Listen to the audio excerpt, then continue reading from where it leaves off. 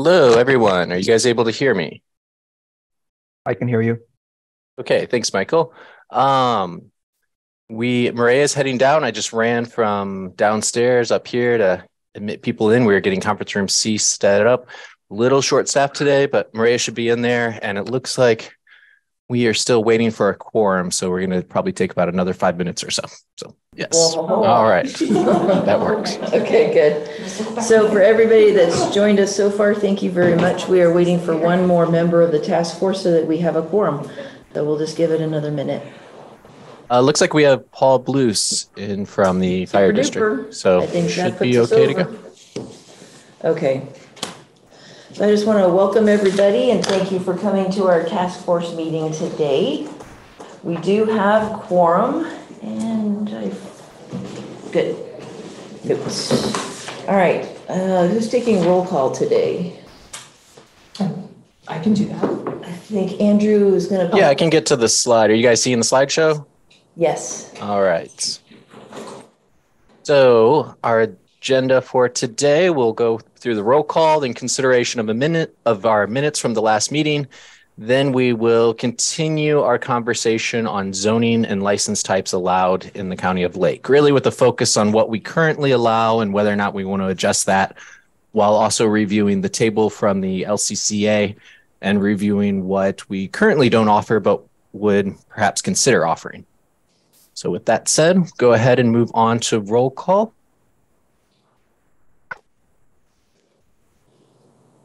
All right, Ruby, why don't you take roll call?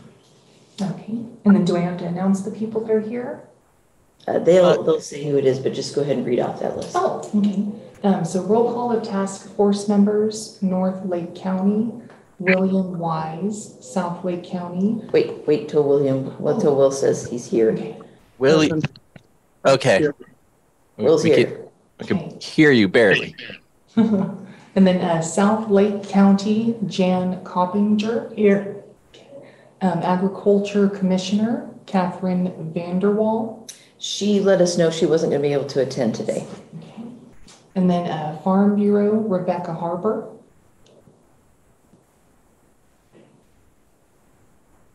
See Rebecca in the Zoom room. We do? We Okay. And then, uh, Present. LCC. Present. There. Okay, there we go. Perfect. And then Jennifer Smith. And then uh, cannabis industry, Nora Dolbaka.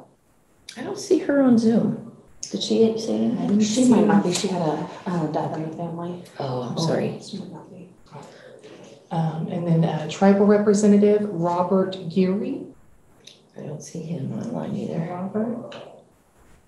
Right, and then um, LCFCA representative, the fire district chief or the representative. Paul Blue Kelseyville Fire. Super. Hey, Paul. Perfect, thank you. Excellent. Okay. Moving on, uh, we now have our consideration of the minutes from the May 8th, 2023 task force meeting. Has everybody had a chance to review those minutes? If so, we're ready for a motion.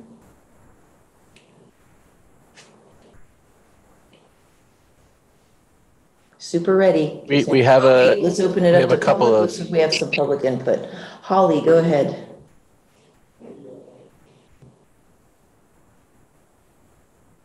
We cannot hear you. I see that you're unmuted, but we can't hear you. Maybe star six on your end, Holly?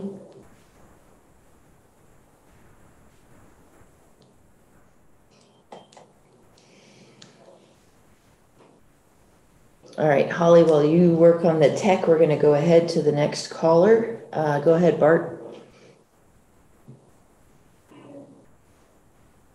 Holly just sent a note, I can't read it. in Hi, can you hear me? Yes. Thank you. Thank you so much. Um, I wonder if Holly is uh, about to uh, identify the same thing. On my screen, what I see is the minutes are identified for the same date as today. So there's a some sort of typo there that just Do you have a copy seems of like a mistake.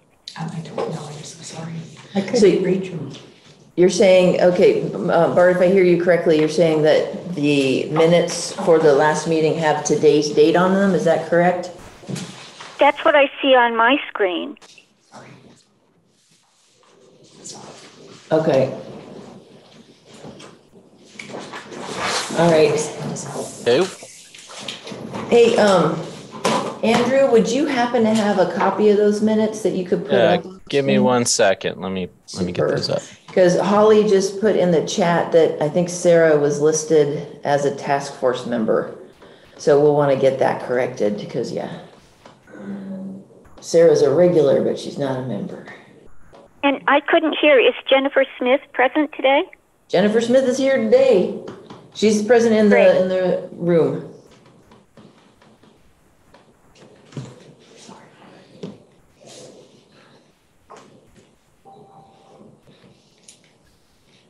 All right, so we'll give Andrew a minute to get those minutes up there and um, then take a look and see if we need to make any amendments.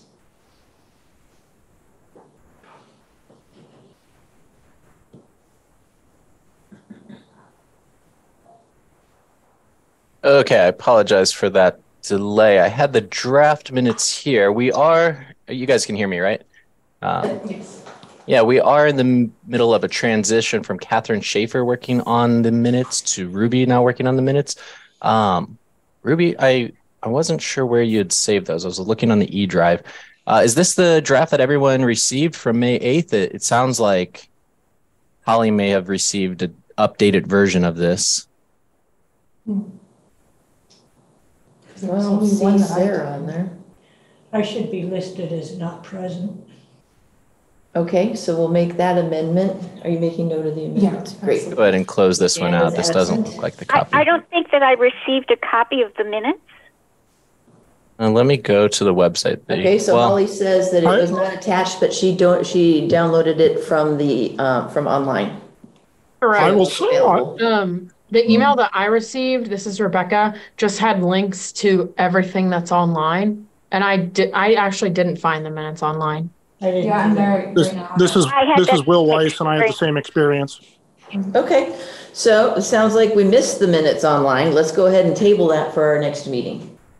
Well, can we talk about though that that in the the uh, agenda set out, uh, what's important about what just got said is that people received links, but they couldn't necessarily access what was indicated, and so in that way, this meeting, I'm sorry to say, is not Brown Act compliant. This meeting, so long as the agenda was posted, is absolutely Brown Act compliant. But if we did not have the minutes, then that was an inadvertent error or omission. And we will go ahead and not take action on those minutes today because it was not available to the public. We will go ahead and move those minutes to the next meeting for consideration and approval. And then somebody had just commented that the meeting, the minute meetings are available on the website. Kyle. Oh, Kyle found them. Okay. Just to let you guys know. Where are they? Um, Well, so when you're, when you're on the website Yeah, itself, just so I website. can guide you through. Under boards and commissions? And it's this little, it's this little guy right here.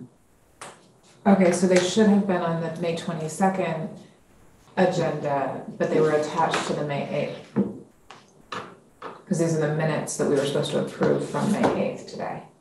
Oh, I'm sorry, I don't, I thought that's. Because I opened the May twenty-second and they're not available under the May twenty-second agenda. So did they maybe get attached to the May eighth? Here's the agenda for today, okay? And let's see. You know, I apologize, I'm not, I was told they needed the prior minutes. So did you? Yep. okay, So maybe you put them on the eighth then. That's fine, we'll get this figured out. Yeah, generally we had sent out in that courtesy email the draft minutes. However, we're kind of getting away from adding too many attachments to the emails because everything's available through links online. Um, however, we don't post minutes onto the website until they are approved. So we would have needed to send those out to at least the task force members and the, the public. So we'll get those sent out or post it, have a place where draft minutes can live online. So I'm also hearing some other noises. Is it Holly trying to speak maybe? Correct, they're on the line item for May eighth agenda. Thank you, Kyle. Um, Rebecca is commenting, for task force members, can we please include all docs as an attachment moving forward? Um, sure, I think, yeah, Okay. we will do that. Thank you, Rebecca. And I think that's all we have on the chat. But for today, we will go ahead and carry those minutes over. Next on our agenda. Review of zoning and license types allowed in the county of Lake. Okay, well, I'll go ahead and take it from here and just uh, pick up where we left off the conversation.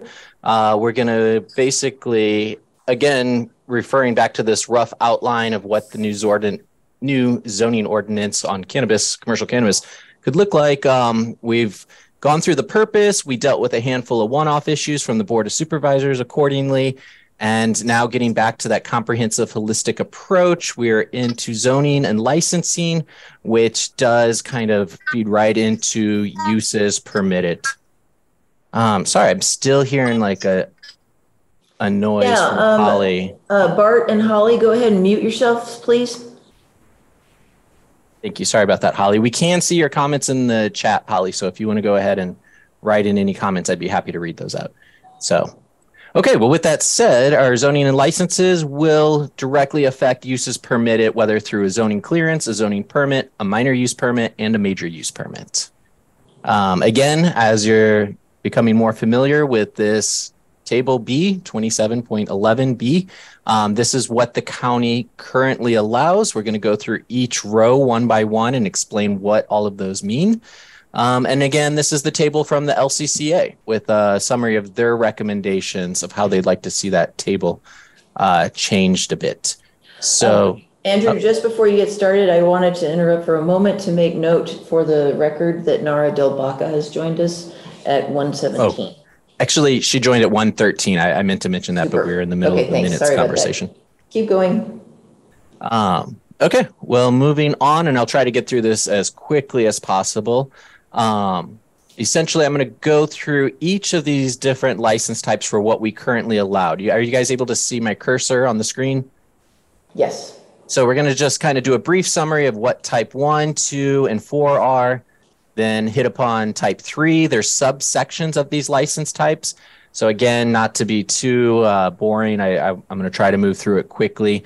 Um, we'll get into each of these licenses, what they are, where they're allowed within the zoning ordinance, and as you can see, this uh, basically a, a hollowed out circle represents a minor use permit that would be required. And then let me go to the previous slide. Uh, the the darker circles represent a major use permit. Okay, uh, moving on. So with a minor use permit in our ag preserve, ag timber preserve, rural lands, rural residential, and suburban reserve, uh, applicants are able to pursue a license type one specialty outdoor. Um, again, in this first title, it's outdoor cultivation for a medicinal or adult use cannabis. All of these license types could be applied for in the M and A, so I left that out of the rest of the section. Um, without the use of artificial lighting in the canopy area of less than or equal to 5,000 square feet of total canopy size on one premise, or up to 50 mature plants. Uh, I'm going to move on to the next one. And again, anyone who you know any of the task force members who want to stop and ask some questions feel free to to jump in at any point um, but with that type these are the zones that a type 1 license is allowed with a minor use permit um, with a major use permit they could pursue one in uh, planned uh, commercial development and then these following zones are where we do not allow the license type, which again is open for discussion and consideration moving forward should any task force members wish to, to use that. We will have a PDF of this PowerPoint. It might be useful to go back and use as a reference. Um, and then with that said, I will continue to move forward. So um, within the license type one, we also have a license type one for specialty indoor.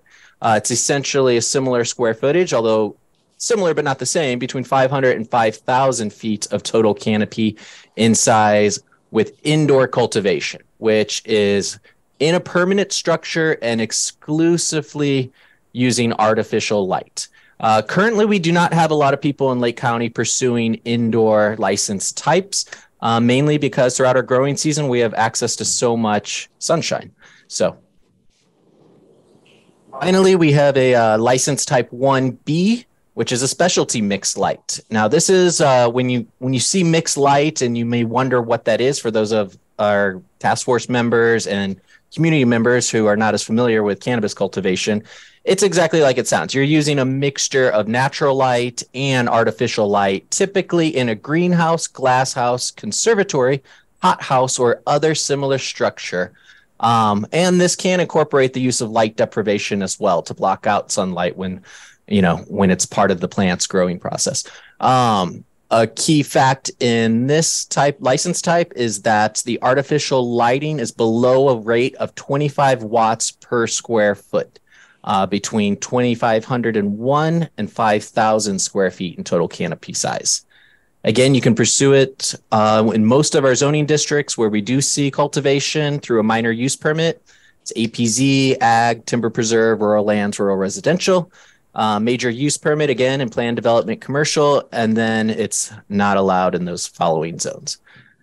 All right to move a little more quickly through this, a license type 1C is a specialty cottage uh, license type, which essentially it's similar to the others. It just uh, it's 2,500 square feet or less, so it's really for a small scale grower. But you can find all the details for the specialty cottage uh, within those license types. For type two, small outdoor license type, again covered in that first row of the table, uh, it's an outdoor cultivation for cannabis without the use of light deprivation.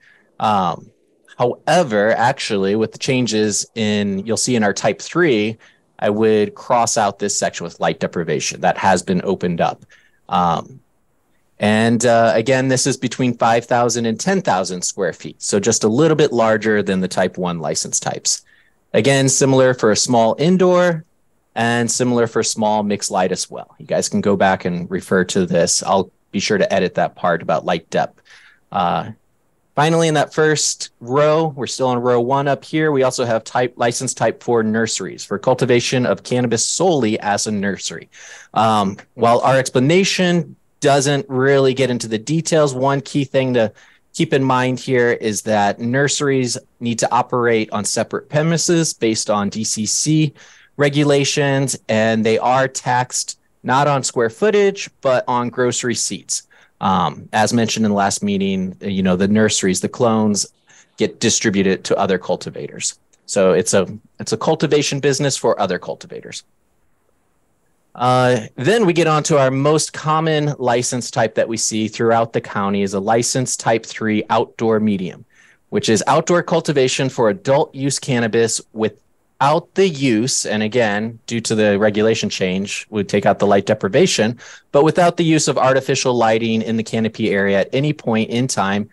And it's from 10,001 square feet to one acre, uh, inclusive of total canopy size on the premise. Um, again, applicants can pursue a type three through a major use permit in ag preserve, ag, timber preserve, rural lands, uh, rural residential, suburban reserve, and planned development commercial. Next, we have a type 3A, which is the equivalent counterpart for indoor of a type 3 license. However, it doesn't go up to a full acre. For those who aren't familiar, an acre is 43,560 square feet. So you're getting at, uh, you know, just above a half acre here. So but again, we don't see a whole lot of people pursuing indoor just because there's so much access to natural sunlight here. Uh, you see indoor cultivation more in like Colorado, Michigan, New England states, but California uh, does not really necessarily uh, need to go that route. Uh, but again, we do see a lot of mixed light actually, because this can enhance the speed and quality of the rate of growth. Um, but uh, for type 3B mixed light medium, Again, it's in a greenhouse, glasshouse conservatory. Uh, it's also at a rate below 25 watts per square feet, and it's similar. Uh, it's the same square footage as the indoor. License type N manufacturing, and this is where we're going to get into a little bit of uh, some of the caveats or some maybe areas that you're less familiar with.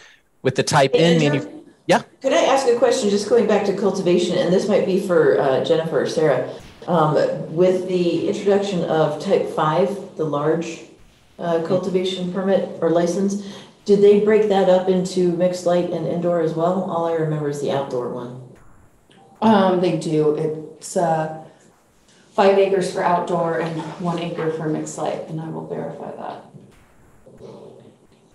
Okay, and what about indoor?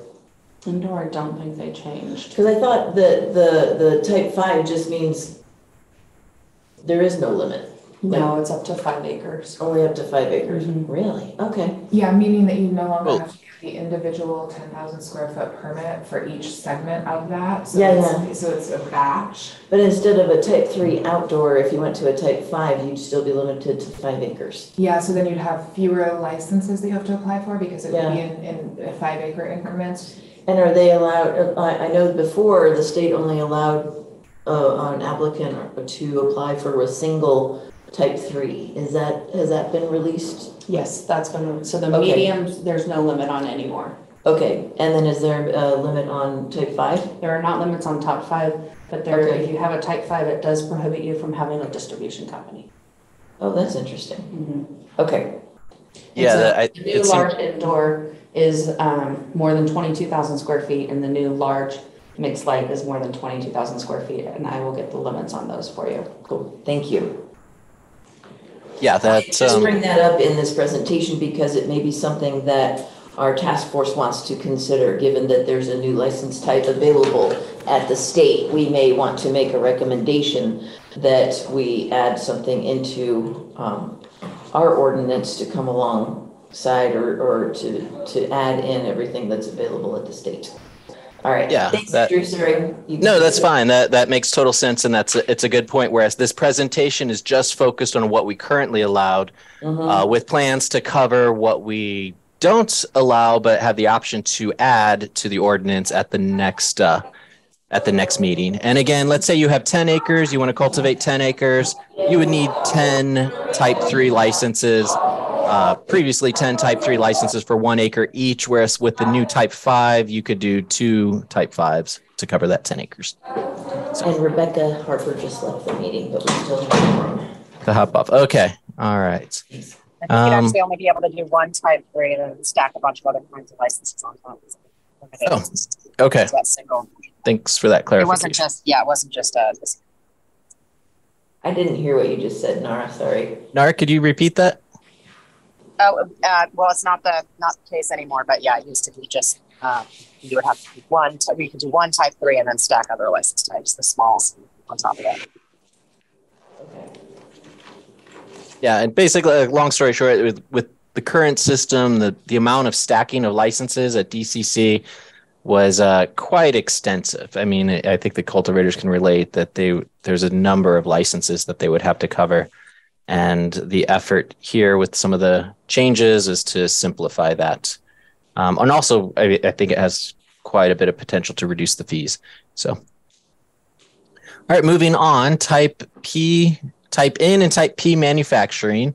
Uh, type N manufacturing is manufacturers that produce edible products or topical products using infusion processes or other types of cannabis products other than ast- extracts or concentrates. A type N license may also package and label cannabis products on the license premise. Uh, they're allowed through a minor use permit in C2, C3, M1, M2, and PDC, more of our heavy commercial and industrial zones. Um, type P is similar, it's in the same row on that table, and it's manufacturers that only package or repackage cannabis products or labels or relabel the cannabis product container or wrapper. Uh, manufacturers that engage in packaging or labeling of cannabis products as part of the cannabis manufacturing operation do not need to hold a separate Type P license. Uh, Going on, type six manufacturing. This is generally the type of manufacturing we do see, uh, still to a limited extent within the county, but potential for growth. And the key thing about type six versus type seven, both on, well, each one has its own row as to where it's allowed, uh, which is down to the key factor that this is non volatile solvents or no solvents.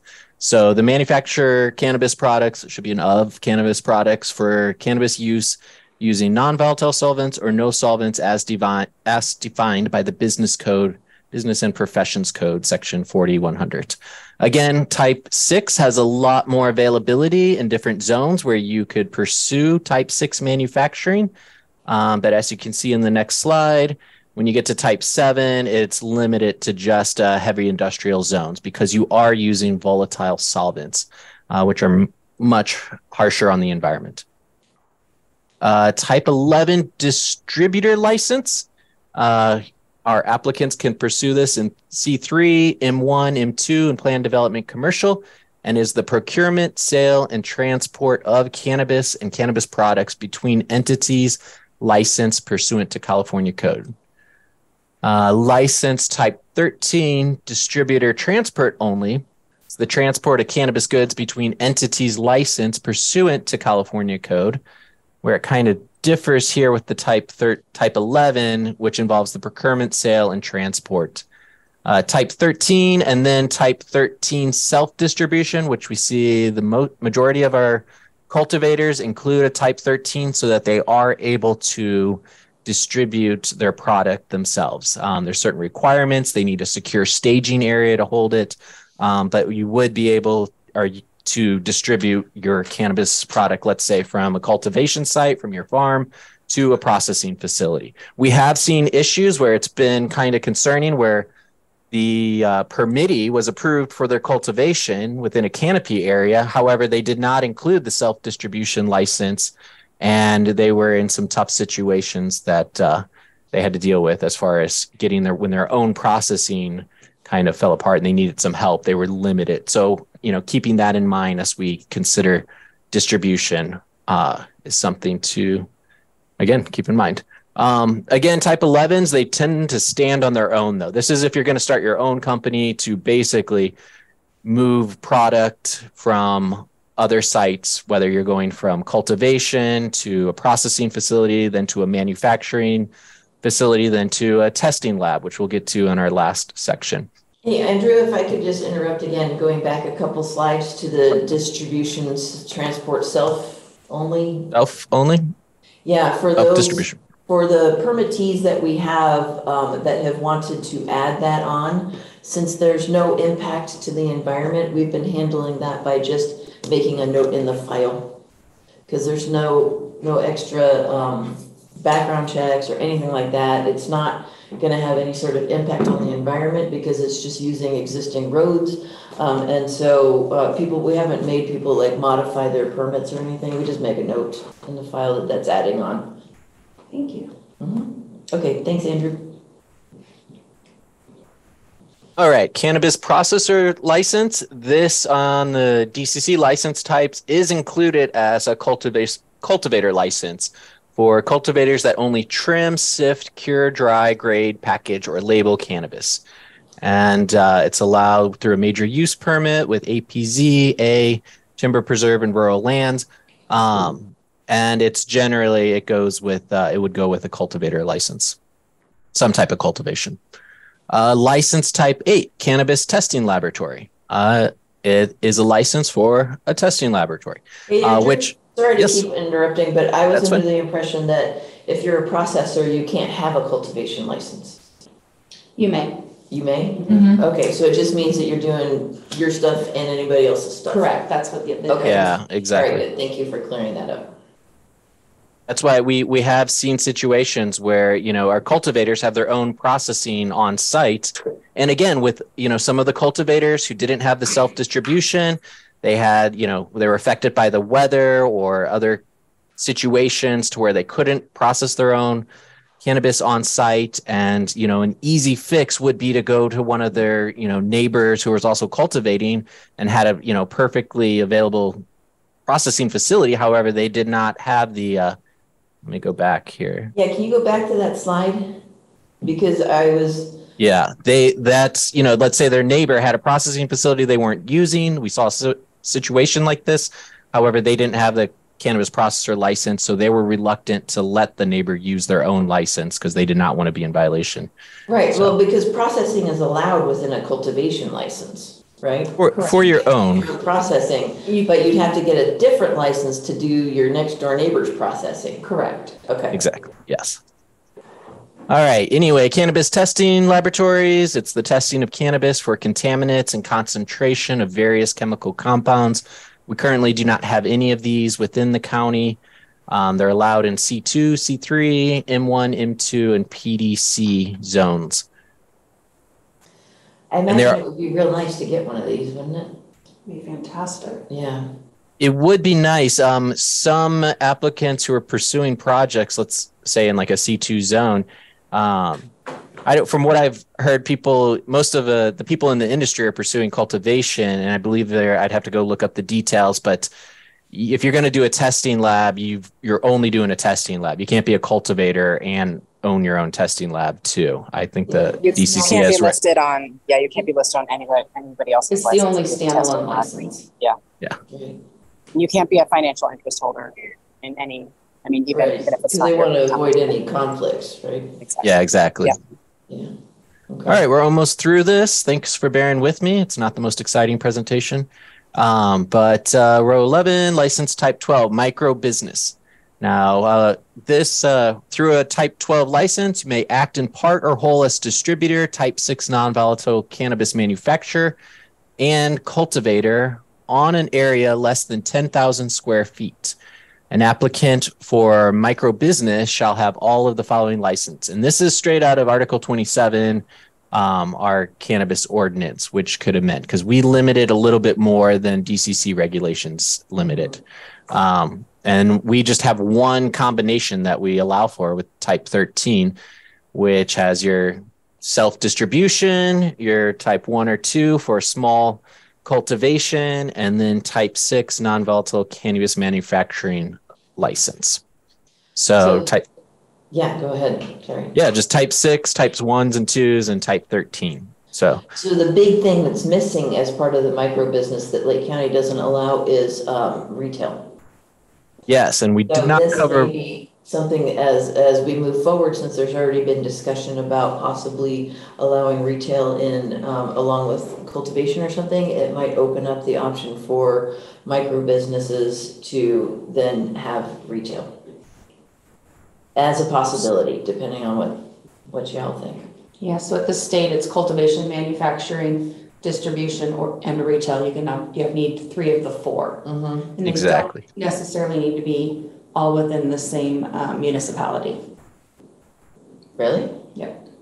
So wait, you could have a micro business in Lake County, but do be, be doing your manufacturing like in Sonoma? Correct. Oh, that's interesting. Or you could do your manufacturing and your, you know, type one or two smaller cottage industry and distribute it, and then do your retail out on like Main Street at a, you know, in a different town. So Interesting. Company. Okay.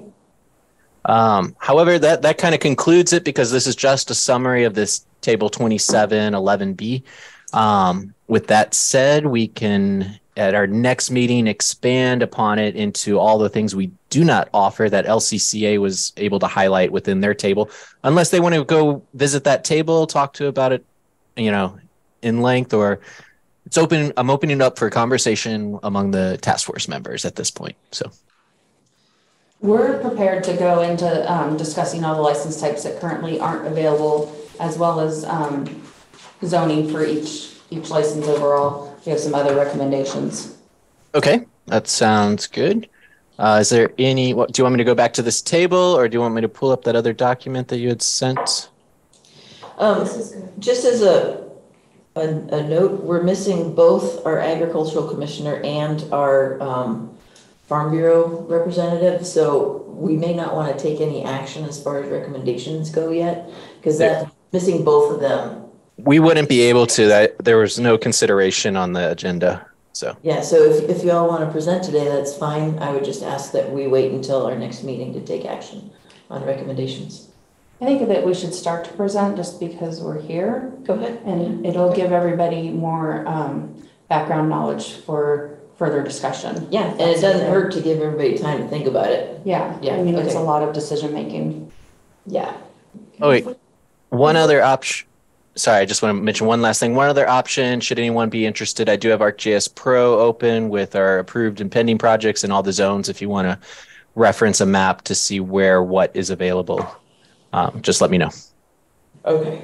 Before we jump into the table, um, this is Sarah, Policy Director for LCCA. And um, at the last meeting, we proposed an approach, which was to begin with considering all of the facilities type zoning first um, as part of a strategy for the task force to instead of piecemealing things and taking one little sliver at a time, like just talking about nursery or just talking about retail, to lump everything that was not cultivation together in one batch of recommendations and then address cultivation separately um, after that. And for people who weren't here for our presentation a couple weeks ago, the reason being that the um, the need for the the facility, some of these facilities is imminent and could even be relevant this this calendar year and this growing season, and a full rewrite of or changes to the cultivation ordinance are going to have to go through um, probably more robust CEQA review and definitely wouldn't happen in time for this growing season. So from the perspective of, of licensed and permitted cannabis operators in the county, it would be most strategic for the task force to tackle the facility stuff, which is everything that's not cultivation, um, first, get that batch of recommendations moving through the process for input from all the other agencies and then the board, and then do cultivation. So that's how we structured um, what we focused on, and that's what we're prepared to dive into today. And as far as zoning, we don't have any cultivation changes recommended. So I think we're safe to just go ahead with the facilities. Yeah, and, and we may, once we open that up and start looking at it, we may want to look at some nuanced things, but we're not addressing those today. So then what's assumed in that process is that uh, we would provide sort of an update to the board about the recommendations regarding facilities as a unit while we're, while the task force is still talking about cultivation. Okay, Yes. yeah, let me kind of wrap my head around that one then. And that, you know, I, I was looking to the minutes to see if we officially voted on that, because I know that Jen and I presented that at the last meeting as an approach, but I don't know if there was any action taken. And if there needs to be for the task force to say, yes, we like that approach, we officially are voting for that approach to do facilities first and then cultivation second. I just couldn't remember exactly how that item ended. I, I, don't know that we actually need to vote on that sort of directional process. It still all fits under review of zoning license and license types allowed. Um, I think we'll, we'll, since we're not taking action on it today, we'll reword it differently in next week or next meeting's agenda, um, just so it does allow for us taking action. Um, but does anybody have any sort of issue with divvying it up into two different pies? I'm not seeing anything here. Any um, task force member have an issue with breaking it up and dealing with facilities type first and then going back and talking about cultivation? I'm not seeing any. That, that's fine by me. Will Weiss here. Super. Okay, Paul, do you have any issue with that? Nara? I'm, I'm good with that. Okay, good. Yeah, let's go ahead. Okay, so we don't have any um, recommendation changes until you get down to type seven, volatile cannabis manufacturing. And to, to us, it really makes sense to add those options into M1 and MP. Those are manufacturing zones and should be, um, that's ex- exactly the type of zoning where we would like to see manufacturing. Um, and we, if you want to pull up any definitions through this, I welcome the conversation.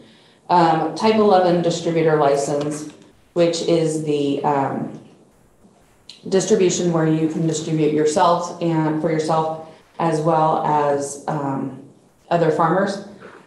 We'd like to see that opened up on the, the cultivation zonings, which would be APZ, A, TPZ, RL, RR, and SR especially because as we have these buildings that are, are being built um, for these particular uses, for the different, um, what do you call them, uh, capacities and use types, that we can build out accordingly and be able to have those distributors um, already on site. The same would go for self, for transport only. Um, to us, the transport only is really the benefit to the farmer and so that they can deliver their product, whether it be to a testing lab or a distri- distribution center themselves. And so it makes sense to have those licenses available on those cultivation spots. Wait, do, hold on, just so I'm clear, do we not allow transport only self-distribution on, uh, to be paired with? For some reason, it's not on the chart, although I know that you can apply for it. It just wasn't on there. Okay, so maybe we just haven't updated our chart. Yeah, all right.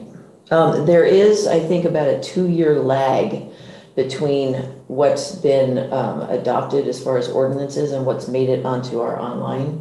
And so we are working on that. We, we are working actively with Municode, which is the company, or maybe they're called Civic Clerk now. But anyway, with the, the same company that updates all the rest of the county code, we're getting, um, zoning code updated. So hopefully that's, uh, that should be happening soon. Fantastic. Yeah. Um, and then the next one that we wanted to address would be the cannabis processor license. And again, this is. An- Andrew, could you put the, um, the grid back up for the group? Thanks. So this processing, as we know, comes with cultivation at both the state and local license. So what we're specifically speaking of here is a facility where somebody um, is operating as a processor. They're either drying, trimming, um, co-packaging for other, for other entities. Okay. And so we would like to see that in the commercial zones as well as the manufacturing zones, because we believe that the, um, the processes that are taking place Which commercial zones? Um, we have it in C two and C three. Okay, not C one, No. okay. And I've got the list of, of county zones up here. Um, C1 is more like shopping centers, small Exactly. stores, restaurants, offices, um, kind of like, you know, professional setting, um, like downtown type areas. C2 is also similar to that because it allows for like your hardware stores, your restaurants, your cafes as well. Yeah, it can be, but when you look at the maps, um, it can be a bit more of a, a mishmash. And so I think that that's where like the use permit process allows you to look at a site-specific location and is it right next to an auto parts store or is it right next to a restaurant? You know, like Mhm. there's, there, it, it's kind of case by case because the, we don't have a big county, right? So sometimes when we have zones that are exclusive, it means like a good location can be ruled out, but it's not actually like a downtown neighborhood. Are you thinking that exclusions would be added into the ordinance? Because otherwise, if it's zoned for it, um, then it falls to the planning commission to decide if it's okay to be next to a restaurant. You know, but either way, the department would support the project because if we didn't have any reason to not. I'm not suggesting exemptions specifically, or, or exclusions rather. Um, I think that it's more like, and I know we, we don't want to use terms like this in policy, but like common sense. Like there, if, if a, if an operator were going for that, it might be that it's in that zone, but it's very appropriate, very appropriate use, and there would be a lot of opposition, and it would fit well with that neighborhood. That's kind of what we're thinking for this. Okay. Jen, do you want to add? You could, ha- you could have, I mean, her hand up. Yes, there's, I mean, just to to answer that, and then I had one, one thing on the type 11. Um, I mean, there's ways to, uh, to add in certain findings, right? Where, yeah, yes, you could have a processing facility and then, you know, add, add in a couple of, you know, of additional findings to, to be able to, to grant that discretionary permit. Um, and that might help protect, you know, if, if it was a really inappropriate location and staff, you know, didn't want to have to um, recommend approval if there were, you know, a couple of, of findings that had to be made that might help. Um, and then on the one, one additional thing on the ability to add the type 11, one thing that you can do a type 11, I'm not sure folks know this, that you can't do um, with the type 13 is to send your product to, um, to testing. And right now you have to uh, transport, if you have a self, self distro license or self transport license, you can take it to a, distri- a distributor who can then take it to um, to either retail or uh, or testing lab, but you're not allowed to do that currently under a Type 13. And so that's just it's um, for some of the you know, the smaller, smaller folks are, um, just want to kind of cut out that, that additional layer. Uh, and I think a lot of people misunderstood that and applied for type, um, type 13s when, um, and then realized that they were holding a license they couldn't do a whole lot with.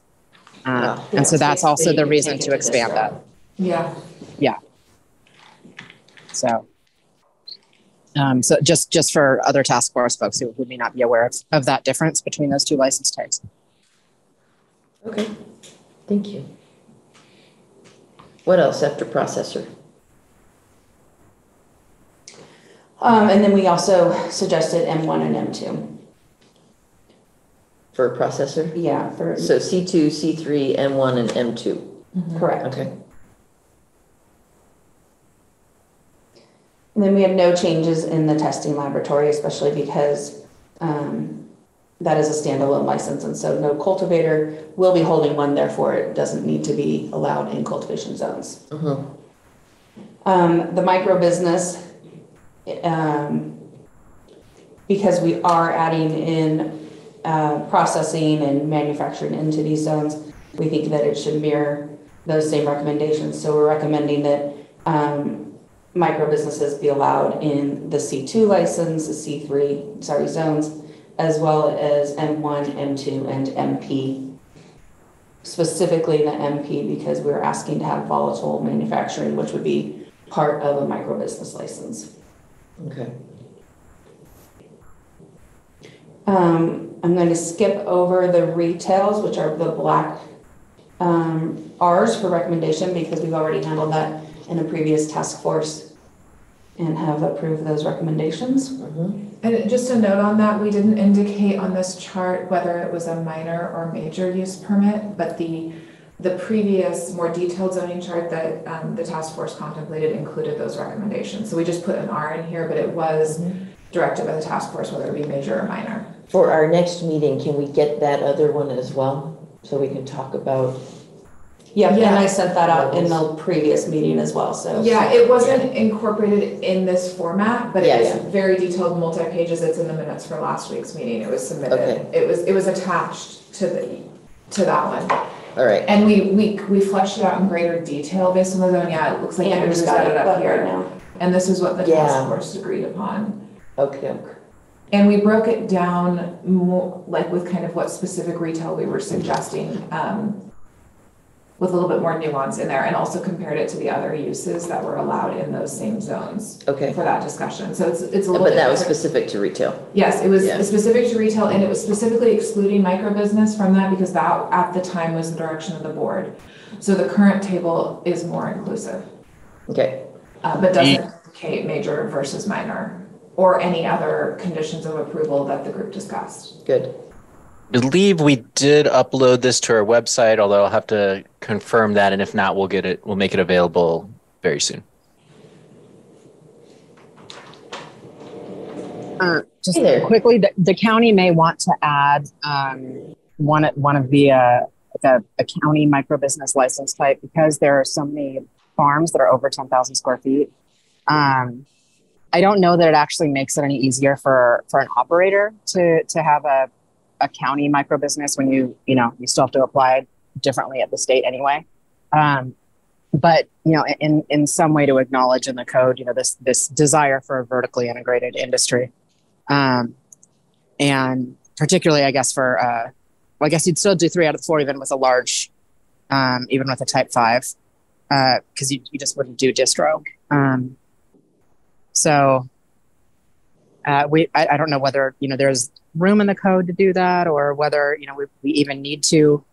Um, but i think that was part of our you know part of our mission statement as, as the task force was to acknowledge and encourage more vertically integrated businesses. And yeah and we do. We have a lot of folks well over 10,000 square feet who may want to participate in a slightly easier you know check in a couple boxes um, similar to how you've been handling the self distro um, making it a little bit easier uh, threshold than applying for a, a full you know additional use permit or reopening a use permit, but doing it as, as, a, as a simple mod or something like that. So that's it. So on the note of um, supporting vertical integration, though, the next two lines where we have made recommendations are around something that's currently allowed by the state of California, but we just haven't enabled it at the county level, which is um, cannabis special events. And the, um, the, what's that? Did I say something? No, I was just, go ahead. Do you want me to keep, I was just gonna take this part, but that's good. Sure. Okay, um, so you apply for a- an event organizer license through the state of California, and then once you become a, a, a licensed event organizer, then you can host special events per the local code. So if the city of San Francisco allows special events, then you can apply to host a temporary special event there. And you could also do so here in Lake County, but we don't have that option yet. So the, this is, this line that allows temporary, uh, for, that says temporary special events is to enable that application at the local level. And we've recommended that in several zones. These special events could take the form of, you know, a, a farmer's market.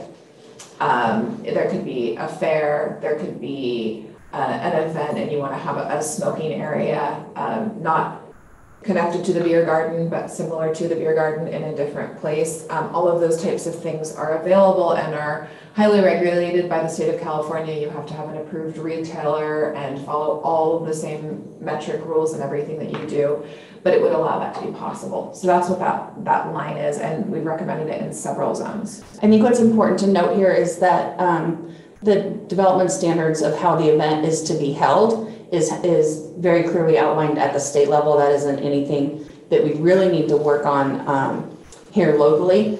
Locally, what we're responsible for is uh, determining which zones that those are allowed in. Because once we have the zones, somebody has the license, then they apply to the state for that particular event. And what is your reasoning um, with allowing it in the service, commercial, and the manufacturing zones? It's like you could have a street fair anywhere. You know, that this is, this is, a cannabis special event could take many different types of forms. Um, like there could be a, a public event and you want to have a little cannabis lounge added on. It could be an event that's hosted in um, the the outdoor area of one of your license holders in the county. So they could be located in many different places. Does that answer your question specifically? Sort of. I don't know that I agree, but sort So of. would it be like the Emerald Cup in Santa Rosa, that type of event? Is that what? It can be that, it could be also be just a ticketed dinner. That's an infused or a pairing dinner. Um, so it really runs the gamut. Or a farmer's market where there's a, a few local farms that are all showcasing their goods. Not the same as, you know, your, your food farmer's market, but that kind of setting. I just have trouble envisioning a farmer's market next to an auto body shop. Well, I I can think of an example from uh, New Belgium Brewing in Fort Collins, Colorado. They do Tour de Fat every September, and it's it starts with a parade through the town. Then people end up at the brewery, and then back in the industrial section. They have the industrial areas kind of gated off, but they have like events throughout the facility um, in that industrial setting, in a sense, to kind of show the the complex. So, I mean, that's where I'm thinking of an event that's actually in an industrial setting. And the reasons I have the, the asterisks there are to mirror what we recommended in the retail and that it would have to be ancillary to a, a cannabis business already existing and in operation. So we're not just gonna go behind the auto shop and have, um, Big old party. a big old tasting. They would have to have already a manufacturing license Okay. or some. You know, I don't, I, I'm not sure I, I necessarily agree with that just because there may be folks who are operating a, a business um, in those zones who may not be, may not be a cannabis business, but maybe they want to allow for a cannabis event to come onto their site and to make a little extra money. Um, and I don't know that that would necessarily be a bad thing if it's a, you know, if it has the same security as as anything else does. If you know. So that raises an interesting question that then the task force will need to consider. If you wanted, if the task force wants to recommend it in all of these event or all of these zones, would they then require it to be a, an accessory use to an existing cannabis permit business, or would that not matter? So, but Yeah. that's just something for, that's just yeah, something for the task force to consider for next week when we start working on recommendations. Yeah, or is it exactly like a county permittee, right? It's a, it's a Lake Right. County farm, but the event isn't necessarily on, on that site. But it's still associated with a local permittee. And what I would just caution there is to not have that as a blanket discussion, because I think consider each zone when you consider if it should be attached to a cannabis business or not, because zones are very unique, and that could be highly limiting to require that in some places. Um, I don't know if I'm allowed to ask questions, but events generally take cannabis out of it. I don't know that that falls into a zoning matrix, right? I don't know that that a zoning-based district influences what type of events may be handled there, unless there are events already called out in our zoning ordinance. Um, we do have Yeah. a zoning permit for special events that are, does not include cannabis at this time. And let me take a look and see where that is. Does, does it address the base zoning where the? uh, It does, yeah, let me take a look. We, we are seeing a situation where someone is having, or, you know, pursuing hosting weddings in ag preserve on, you know, parcels that are under Williamson Act contract, which is not allowed through our zoning ordinance. So I was going to talk to yeah, Rebecca after the meeting about this. RL, RR, SR, C1, C2, C3, CR, CH, and M1.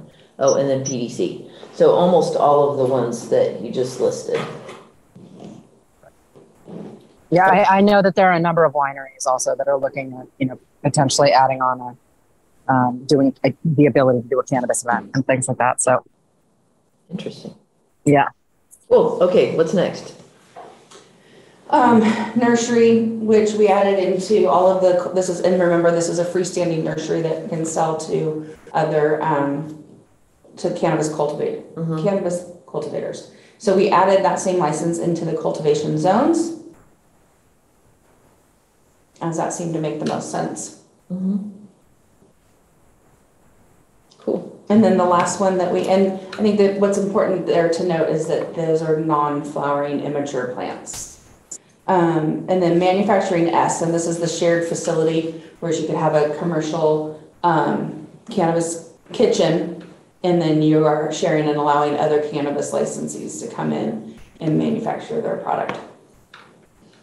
And we recommended that in M1, M2, and MP. One thing that the um, city of Berkeley did uh, several years ago was they had a, a former um, Japanese nursery that wanted to convert to cannabis and they wanted to convert to retail nursery cannabis sales. So it was direct to uh, to consumer sales. That may be, you know, a license type that we want to look at here too.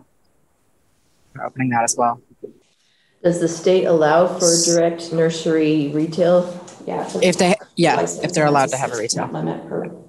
Oh, they can, okay, because I thought it was just licensee to licensee. It's a, it's a separate license that it would be allowed at the local level. Okay. Right.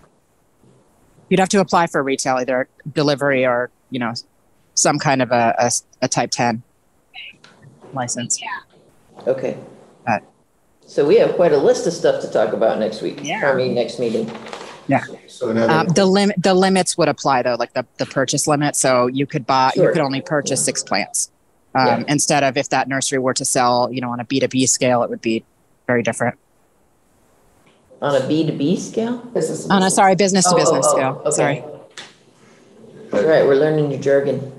So a question on this, if, if the shared manufacturing would be a umbrella over, say, for example, you had a shared manufacturing facility that was all non-volatiles.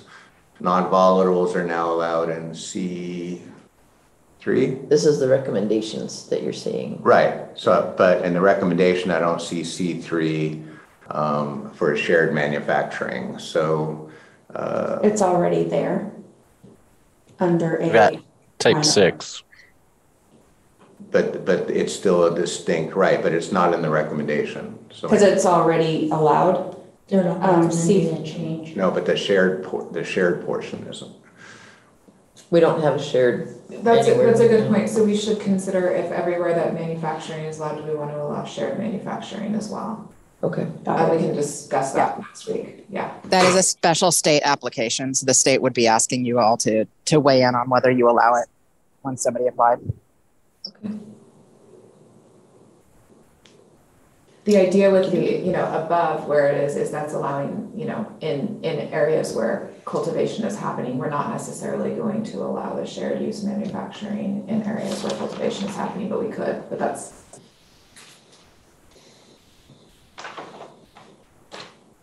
anything else? If you guys are interested, I could go through the zoning map here and highlight each zone as to where it's allowed versus where the recommendations are changed if you would like to see that. For example, here we have, let me close this out. So on our zoning map, here is M2, looking at the first set of recommendations for type 7 volatile cannabis manufacturing license. Currently, it is limited under type 7 to just M2 zoning. So across the county, that looks like this. Down in the Middletown area to Hidden Valley Lake, we have a couple of areas with M2, uh, a couple up towards Cobb. You can see it highlighted there in the yellow. Again, close this out. Do a little bit of the symbology, but uh, there's there's not a lot of M2 zoning throughout the county. A little bit in Kelseyville. In fact, that's actually a new processing facility that was approved. Um, a little bit here, but uh, yeah, there's not a lot available. However, if we go back to the LCCA recommendations, uh, let's see here, type seven, opening it up to M1 and MP would look more like M1. I do not have MP highlighted on that. Uh, I think because we do not do we have manufacturing parks? I know we we have it as an option, but I'm not sure if we have many zones. I don't think I've seen them. Yeah. So um, opening it up, it looks like, you know, that it it doesn't expand it a lot. But here's an example where it's limited to, you know, let's if we want to see what kind of parcels are over there. We've got a couple of parcels where you could do volatile manufacturing. It would open it up to a little bit more space here. Um, down, it looks like we've got something opened up here. A few zones open up here in the Lower Lake area. But this kind of gives you an idea of, you know, you're not expanding it too much. It's still limited to just a few pockets where we allow that type of heavy industrial or uh, moderately industrial applications.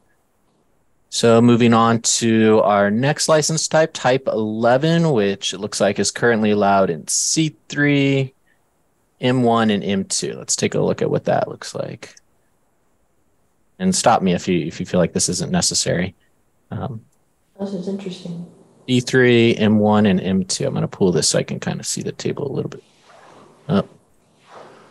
Okay.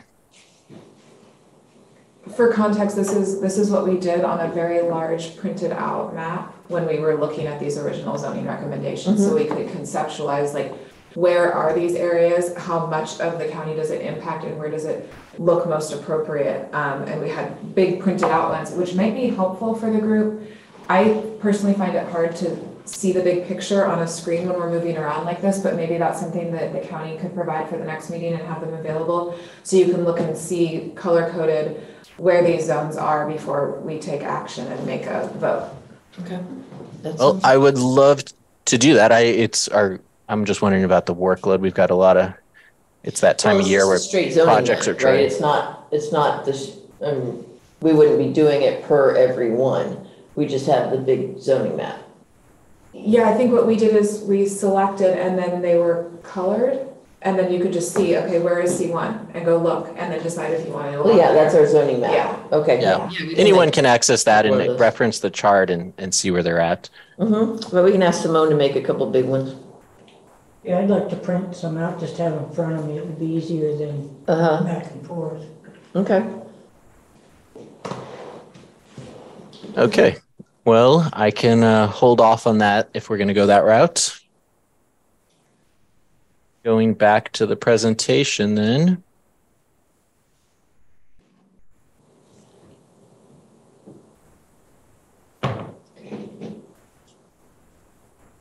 Yes, at this point, uh, if there's nothing left, we nothing else left, we can open it up to public comment. Um, let's see. Bart's had her hand raised since the last item, so I don't know if that's a new one. And then Oh, Nara's bef- hand is still up. We can, maybe we could do public comment Yeah, I can first put and it come down, back sorry. to an update. Okay. So, So do we have anybody wishing to comment from the public on this item? If so, raise your hand in the Zoom room. Um, other than Supervisor Green, I don't think we have any public here today in the room. And I do not see any hands up. So we will go ahead and move on. Let's see. Okay, so our next item then is update to task force, department update. I just wanted the task force to be aware that the board did adopt the um, ordinance for the exempt agriculture building permit for temporary hoop structures for commercial cannabis. That just rolls right off the tongue. I have to always prep myself to get that right. Um, that will go into effect on June fifteenth, but we are currently um, working on updating our actual form. We have an ag exempt building permit form for what we've been doing it previously, which was barns and things like that. Um, but we will have uh, a customized ag for the temporary hoop structures, um, just so that it takes out some of the stuff that's not, not applicable for the barns and puts in the items that were approved in what is now ordinance three one three two. So I think, um, if, uh, uh, Andrew, what do you think about just uh, attaching this I- as a, or let's get that uploaded on our website. So, um, it's specific to our cannabis task force information, so if people are looking there for the final product, that they can find it there. Just to make it easy. Um, next is the retail, um, cannabis recommendations that this group approved. Uh, I, I would like to see that at our second meeting in June. Uh, I don't think I can make it on June eighth. I'm telling Ruby right now, so she'll have the, she can follow up with me. Um, but I should be able to get together a staff report for that, and we'll de- need to do a public hearing notice also. Um, so let's take a look and see. Uh, I think that, that agenda is already stacking up pretty quick. Yes. Um, so, but we'll look to that. That'll be a, that is a tentative date until we publish the public hearing notice, and then it's in stone. So I will keep the task force updated on that one. And I think that concludes my update. Can you think of anything, Ruby or Andrew? no, that, I think that covers everything unless we want to, uh, again, we kind of had a pretty good summary of expectations for the next meeting. If there's anything else anyone would like to add to that. So my understanding then is for our next meeting's agenda, we're going to go over these recommendations again. Um, we'll have large maps and, um, and we'll, uh, we'll be able to make actual recommendations from the task force at that time. One thing that we, I, I need the task force to know is that with the uh, change, since we're not in the COVID emergency anymore, the ability to, for, for actual task force members to attend virtually has gotten much tougher. So for the next meeting, we have to have a quorum of members in person in our conference room. And if you are unable to meet in person, I can't, there's like some reasons that are restrictive that Ruby is going to send out to everybody. Um, so if your reason to attend, if you're an actual member, this doesn't apply to the public because we want to keep doing the, the hybrid because it's just really convenient. But for the decision makers, um, if your reason to attend virtually qualifies, we're going to need your alternate location where you will be attending that meeting because that gets put into our agenda. And I, Um, I believe members of the public are able, you have to allow, leave it open, right, for members of the public to, um, to be able to attend if they want to. Is that right? Oh, sure, yeah. Yeah, And- okay. And, and so because we want to keep the maximum opportunities for public input and public attendance, um, we'll be meeting here, but we're also gonna maintain this Zoom room hybrid style. So that we don't have to fit fifty people in the con- conference room B. It's just a lot more convenient for, for people if they can attend remotely, so we're gonna keep that as part of it. This just applies to the decision makers, so the actual members of the task force. Yeah, I, I, that's what I was I was talking. I think that if you are able to um, present, I think the adequate, you know, whatever it is, um, reasonings for that, then if we send you the location, we also do have to um, make sure that members of the public can attend the location where we are because it is Yes, very published. good point. Yeah, Yeah, that's uh, so you you may not want it, that. you know, your house if you don't want to open it up to members of the public, you may want to choose somewhere else that's got good Wi-Fi signal. So Very good thought. Yeah. Okay, so um, Ruby will compile that uh, um, item and just mail it out to the task force members, just so we're aware of what we will be doing starting at our next meeting. Are there any public comments for items that were not on our agenda right now, but are under the purview of the task force? Go ahead, Sarah. This is Sarah Bodnar, Policy Director for LCCA. And at the uh, Board of Supervisors hearing last week, when there was some questions that came up around the farmland protection zone in the context of the discussion around the hoop house ordinance, there was some new information that was given um, around the number of applicants in the farmland protection zone that were impacted. When we discussed at the task force level, it was it was heard that three cannabis farms were impacted. And in the discussion with the board last week, I think that you said it was fifteen or eighteen um, that were impacted by that, and I wanted. to- 15 and 18 that fall into that, there were four that are actually affected, as in they have outdoor cultivation that needs to convert. The others that were approved, their their application was for mixed light from the beginning, so it didn't really affect them. They didn't have to Okay, change their project. Thanks for that clarification. Um, that's, that was what I was gonna request for the next meeting, that we get that clarification. Um, I also wanted to clarify, and this was again something that was probably in the minutes, what the task force's recommendation was, because it got a little confusing there around, yes, we requested two-year extension unless revocation, something, something, something. Could we, um, could we revisit that at the next meeting? Or Sure.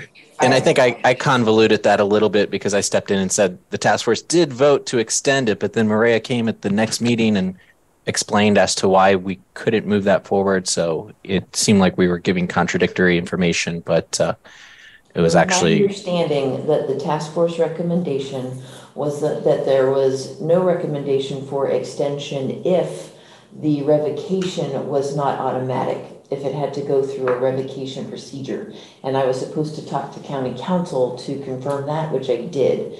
And so the, um, the revocation is not automatic. It would follow the revocation process in our zoning ordinance. There was another request that came from LCCA to see if that is in fact enforceable because you can't get those permits in that zone and that it may render the whole thing null. Is that something that you can still look into with county counsel? Was that a formal recommendation? I don't remember that being, I, I remember that being a comment after the, the recommendation. It was in conversation for sure, but we can. But either way, yeah, even if it's not, I will ask. Okay, Yeah. because I think that's super So- important for those cultivators to know if, if, if they're gonna have to go through a revocation process or if it doesn't apply because they can't get a mixed light or indoor license anyway. I think that that item was on a previous agenda. If, um, Ruby, for next agenda, if you'd like to just go pull that back in, Okay. and we'll revisit that. Okay. Thank you. Absolutely. Thank you for reminding me. Yeah. I walk out of here and if I don't have it written down, it's like, what? Okay, You have to schedule an hour after every meeting. right? Do your follow-up. Indeed, because I have all that time. So it looks like we have a hand-raised guest. Is that Angela? It is Maria. Thank you. Um, I just wanted, if you could clarify, excuse me, if you could clarify for me, um, when is the public allowed to comment? Because it seems like there's public members that are allo- being allowed to comment during discussions, and others are being told to wait for the public comment at the end. So can you clarify Sure. for me who's allowed? Thank Yeah. you. Um, so at each item, after the task force has done its initial conversation, that's when we ask for public input specific to that item. But additionally, we do have public comment as a standalone item on the agenda. And that is for public comment that is not connected to each individual item. Right. So I think what I'm referring to is that the item that you guys were discussing before the department update, there's a couple people in the conference room there that aren't task force members that were part of the discussion, um, that were discussing it I don't know who's in the corner right there. Um, Okay. I can't, it's off screen and, but they're not task force members. So I just want to make sure, is there a reason that they don't have to wait until the public comment at the end of the item? Very Does that make good sense? question. So we'll make note in the um, in the minutes that, because I think you're referring to Sarah, who's not a task force member. However, um, she and Jennifer did do that presentation regarding the recommendations for LCCA. So we'll make sure to note that clearly in the minutes, so it differentiates, uh, that. Su- so that we're Okay. clear. And Supervi- who's- Super- who's the- Supervisor who's- Green also interjected without being a member of the task force, as I recall. Okay, is that who's sitting, uh, is that the gentleman off screen? I can't see him. I just heard a voice. It's the only gentleman in our conference room, yes. Okay, thank you. All right, if there is no further public comment, we're gonna go ahead and agenda our meeting, or adjourn our meeting. Thanks, everybody, for attending.